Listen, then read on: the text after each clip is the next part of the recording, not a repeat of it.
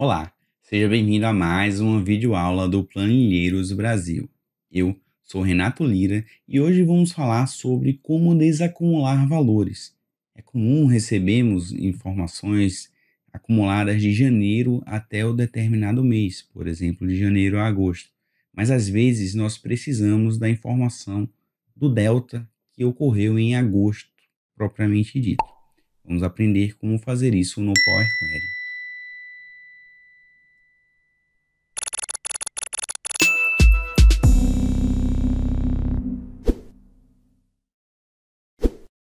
O link para este arquivo está disponível na descrição do vídeo.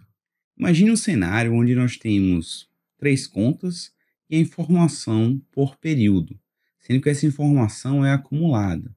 Ou seja, esse 2 em fevereiro de 20 para a conta A significa que de janeiro para fevereiro foi adicionado 1, assim como esse 5 em abril quer dizer que de março para abril foram adicionados 2.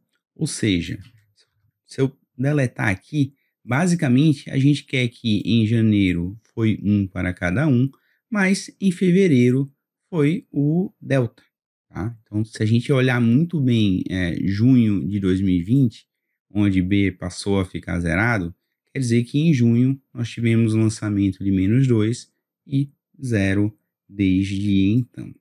Eu vou copiar é, esse, essa massa de dados aqui e vou abrir o Power Query do Power BI. A gente pode inserir dados, dar um Ctrl V e chamar isso aqui de é, acumulados. Ok. Nós vamos ter nossa tabela com valores acumulados. Deixa eu tirar essa etapa de tipo alterado. E é como essa base não está verticalizada, a gente fixa as colunas fixas, nesse caso apenas uma, transformar outras colunas em linhas. Esse valor de atributo vai ser o período e o outro vai ser valor propriamente dito. E vamos transformar, detectar tipos de dados. Ou seja, a gente tem para cada par, conta, período, a informação do acumulado. A gente vai querer desacumular essa informação. Existem duas formas de fazer isso. Eu vou fazer pela, inicialmente pelo modo tradicional, que a depender do cenário pode retornar erro, tá? Então, muita atenção quanto a isso. Então, primeiro eu quero fazer o delta para cada grupo de conta. E aqui eu estou misturado, a conta A, B e C. Então, inicialmente a gente precisa agrupar por pela conta, que é a, granularidade que nos interessam, né? Então, clicando em todas as linhas, vou chamar aqui de tudo. Então, a gente tem uma tabela para cada grupo de contas. A, B e C. Eu vou clicar com o botão direito em uma dessas tabelas e vou colocar adicionar como nova consulta. E aqui eu vou chamar de insumo desacumula e desacumula. E esse insumo vai ser a minha semente para eu poder é, fazer a, mes a mesma repetição, as mesmas etapas, tanto para as contas A's, B's e C's. Então, assumindo que eu só tenho uma informação de conta, aqui também é muito importante que o período ele esteja ordenado, e nesse caso está, a gente vai querer fazer a o delta, né? Então, basicamente, a gente tem que vir na tabela adicionar coluna índice, por exemplo, de zero. Então, a gente tem um índice. Essa etapa aplicada, eu vou, para facilitar, renomear ela de AUX, seria o auxiliar. E eu venho aqui e adiciono uma nova coluna personalizada, seria o valor anterior onde eu vou pegar a minha informação da etapa anterior. Na verdade, eu estou criando uma etapa nova. Eu vou pegar a informação da tabela anterior, que seria o meu AUX, onde eu faço uma referência de pegar determinada linha. Qual linha eu estou interessado? Eu estou interessado aquela linha cujo índice seja igual ao índice que é da respectiva linha que eu estou adicionando. Eu fecho colchetes e fecho chave.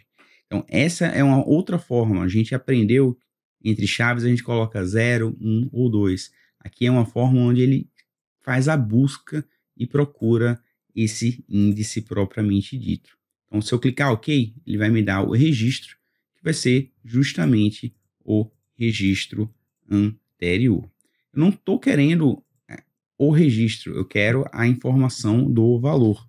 Então, eu venho aqui e pego a, o item valor desse registro e a gente tem a informação. Só um detalhe, eu não quero o próprio índice, eu quero o índice menos um, que seria o índice do período anterior. Então aqui a gente já, já teve um valor que retornou erro. Por quê? Porque ele procurou um índice inexistente, seria o índice 0 menos 1, o índice menos 1. Então, aqui a gente pode usar a, a informação da videoaula lidando com erros, a gente pode colocar um try, ou seja, tente buscar essa informação. Se achou ela, retorne ela. Caso contrário, otherwise, retorne zero, pois eu vou fazer agora sim uma operação onde eu pego o valor contra o valor anterior e a gente vai adicionar uma nova coluna onde a gente vai fazer a subtração. Então, a ordem com que eu selecionei importa. Poderia ter criado uma coluna personalizada também. E essa, essa minha informação vai ser a informação minha nova de mensalizado. Certo?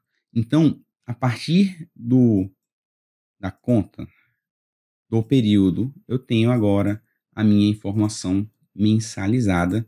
Posso remover outras colunas e eu cometi um, um, uma pequena falha a partir do insumo, que seria dessa etapa 1, eu quero começar a fazer as etapas da função propriamente dito.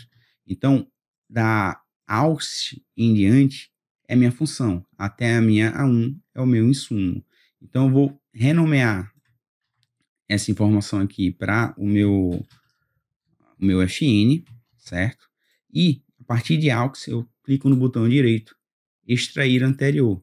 Ou seja, da etapa fonte à etapa 1, eu vou criar uma nova consulta, cujo nome vai ser agora sim o insumo FN desacumula, e da etapa AUX em diante, ele vai continuar com a minha FN desacumula. Então, ao clicar OK, eu tenho a informação que eu precisava propriamente dita, e a gente fez usando parâmetros, vamos fazer agora do modo tradicional, vim aqui em exibição, editor avançado, a gente consegue declarar um argumento, vou chamar tbl igual maior, e a minha fonte vai ser esse tbl, que seria minha variável, barra barra para comentar o meu insumo aqui. Então, ao clicar concluir, eu transformei em função a minha função fn desacumula. Então, nos acumulados, deixa eu clicar aqui e criar uma referência, eu posso é, desacumulado, seria o mensalizado, eu posso vir e invocar uma função personalizada. Vai ser a função fn desacumula, onde a tabela, o argumento está numa coluna e a minha coluna tudo. Então, para cada linha onde eu tenho as informações acumuladas, a gente conseguiu desacumular. Lembrando sempre que para o item B em junho, a gente tem a informação menos 2, ok? Então, eu posso remover outras colunas, expandir e tá tudo ok, tá tudo certo. Mas, Renato, você disse que esse método pode estar errado, né? A depender do cenário. Não é incomum de a gente receber aqui na. Deixa eu voltar aqui para acumulados. Uh, outras colunas não dinâmicas. Não é incomum a gente receber valores zero sem a respectiva linha. Ou seja, se a sua fonte ela oculta valores zero por qualquer questão de otimização, pode vir a ter o erro, tá? Então, basicamente, se eu clicar aqui no meu valor e remover as informações zero das informações acumuladas, se eu vier para o meu desacumulado e procurar o mês 6 do item B, você pode perceber que eu já não tenho informação. Então, essa técnica só funciona se você tem para todos os componentes temporais algum valor atribuído. Então, tome muito cuidado com isso. Eu prefiro fazer isso de outro método que eu acho mais robusto, tá? Então, basicamente, a partir dos meus acumulados aqui, deixa eu criar uma, uma duplicada. Deixa eu desagrupar aqui. E, basicamente, a partir do meu acumulado, onde eu já pré-filtrei e já removi essa informação do valor zero, eu posso fazer o quê? Eu posso criar uma coluna personalizada e essa coluna personalizada, ela vai fazer o seguinte: olhe, se minha informação está num valor de janeiro, eu quero que ela seja positiva para janeiro e negativa para o mês seguinte, que é fevereiro.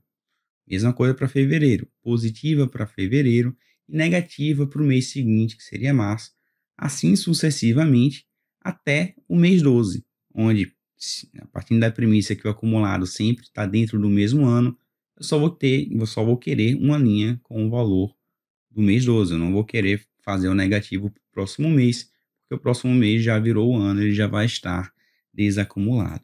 Então, eu quero criar uma coluna personalizada onde eu vou fazer uma lista. Tá? Então, que lista é essa que a gente vai fazer? Eu vou querer uma lista onde eu tenho duas informações. Seria o período novo e o valor novo que eu quero. Então, dessa forma, eu vou criar um registro.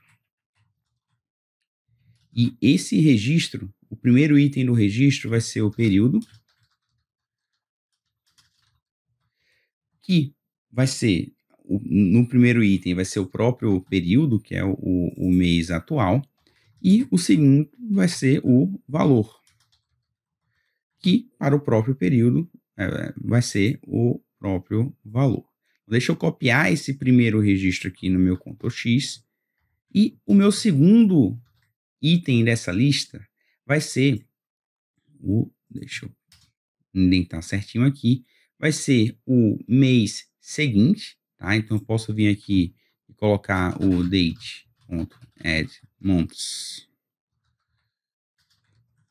Vou adicionar um mês para é, esse período para ele pegar o mês seguinte e o valor vai ser o valor negativo do mês atual. Sendo que tem aquele detalhe: no mês 12, eu não quero criar esse item de valor. Então, eu posso, por exemplo, testar if date.month de quem? Do meu período seja igual a 12, então eu não quero que ele faça nada, vou colocar zero. Else, caso contrário, aí sim eu vou pegar o valor negativo. Ao clicar OK, eu posso ver aqui na minha lista e perceber que eu tenho dois registros. Então vamos expandir aqui, extrair para novas linhas. A gente percebeu que janeiro ele criou dois registros. Seria o registro do próprio janeiro com o próprio valor e o registro de fevereiro com o valor menos um. Se eu vier aqui para o mês 12, você pode perceber que ele criou o registro do próprio valor do próprio mês de dezembro com o próprio valor e um registro para o ano seguinte com o valor zero, que na prática ele não vai fazer nada, tá?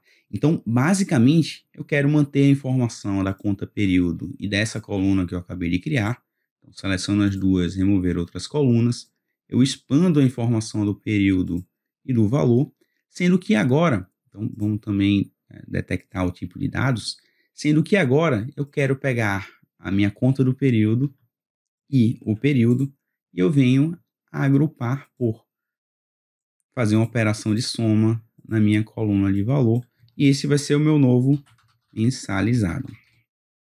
E ao fazer isso, a gente percebe que para o item a conta B, em, no mês 6, ele tem o valor menos 2, que é o valor correto.